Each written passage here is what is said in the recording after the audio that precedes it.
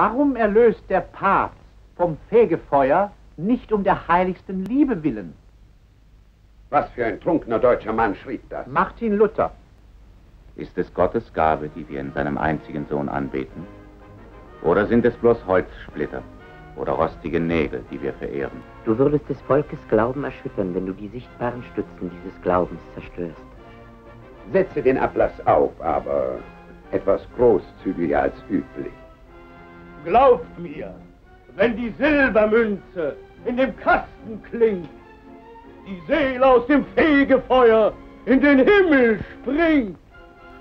Unser Herr Jesus Christus hat für unsere Erlösung mit seiner Menschwerdung und mit seinem Blut und Tod für uns bezahlt für ewig. Wie kann da irgendein sterblicher Mensch, Fürst, Mönch oder Papst noch einmal eine Bezahlung verlangen? Setzt einen Bann auf gegen diesen Mann. Ich möchte sehen, ob sein Glaube auch noch unter dem päpstlichen Bann bestehen kann. Im Glauben lebt der Mensch und wird gerechtfertigt. Nicht durch das, was er selbst tut. Sei es durch Verehrung von Reliquien, Singen von Messen, Wallfahrten nach Rom und Kauf von Ablasszetteln. In der gesammelten Weisheit unseres Glaubens wird er den Frieden finden, den er sucht. Was wäre, wenn die Schrift in die Hand des gemeinen Mannes gelangte? Was, wenn jeder Bierzapfer oder Schweinehirt sie in seiner Sprache lesen und für sich auslegen könnte? Was dann? Nun, vielleicht hätten wir dann mehr Christen, Vater. Jeder einfache Laie mit der Heiligen Schrift ist größer als der mächtigste Papst ohne sie. Ketzerei, Dr. Luther, Ketzerei! Lasst Luther schreiben, predigen, streiten und disputieren. Ich verbrenne seine Bücher.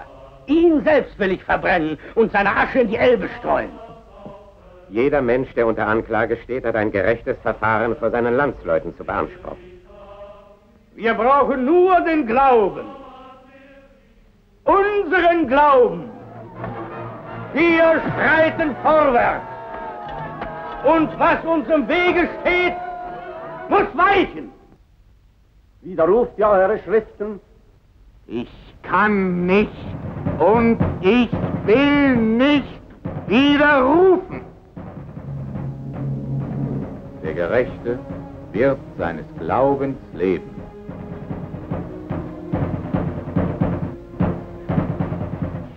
Allein